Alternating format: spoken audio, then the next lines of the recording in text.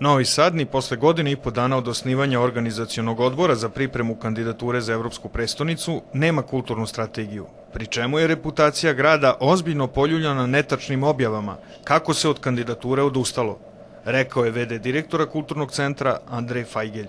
I s te strane mi imamo uveravanja od e, službenika Evropske komisije koji je zadužen za organizaciju praznika e, da su kriterijumi takvi da ako nastavimo sa takvim nesporazumima, svakako ne možemo postati prestonica kulture 2020. godine, ne možemo biti ni elementarno kulturni, e, jer jedan od kriterijume koje Evropska unija očekuje je održivost projekta bez obzira na političke mene, znači oni očekuju da se projekat održi i nastavi i sprovede bez obzira ko je u datom trenutku na vlasti. Sad, taj problem bi bio velik da je bio uh, opravdan, ali je još veći problem znači što uh, je problem izmišljen.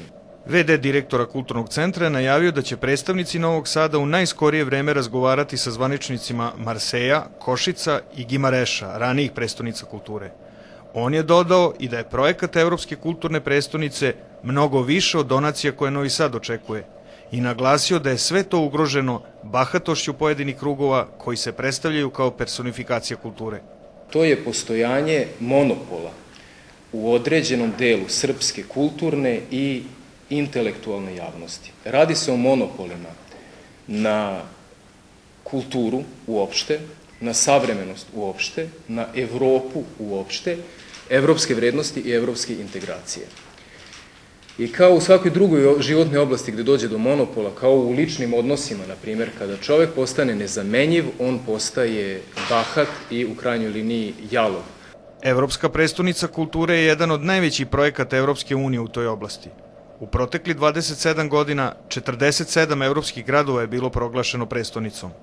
Reč je o velikom i prestižnom projektu koji bi Novom Sadu u slučaju uspelog kandidovanja 2020. godine doneo niz koristi, počev od unapređenja više privrednih grana, infrastrukture, promene imidža i bogatije kulturne ponude.